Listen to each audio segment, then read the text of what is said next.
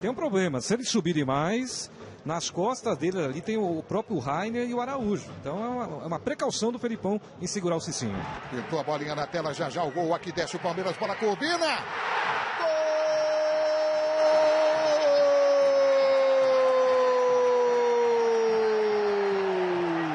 É do Palmeiras.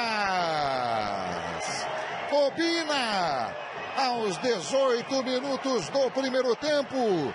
Para alegria do torcedor Alviverde aqui na Arena Barueri.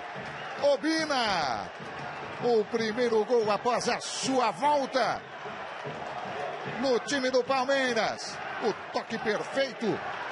Obina no meio de três zagueiros chegou para deslocar o goleiro e fazer um para o Palmeiras, zero para o Náutico na Arena Barueri.